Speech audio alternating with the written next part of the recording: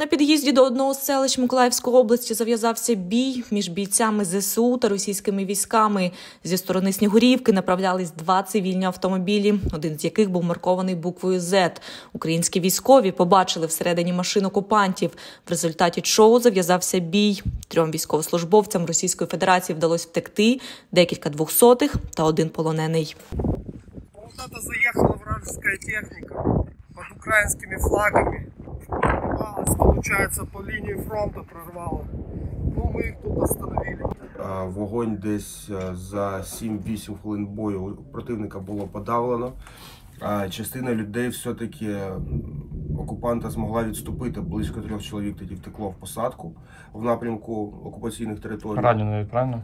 Е, да, двоє поранених, один цілий. І Мгм. одного ми взяли в полон. Вот, товарищ руку потерял. Ну и жизнь, соответственно. Тоже их шапки, лопатки. Одного взяли в плен. Одного взяли в плен. э, С паспортом ДНР. Старший сержант и пулеметчик. по- Видите, от водителя тоже ничего не осталось.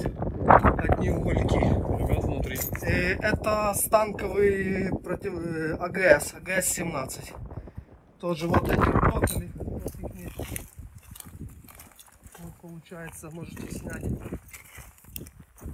Это с АГС-17.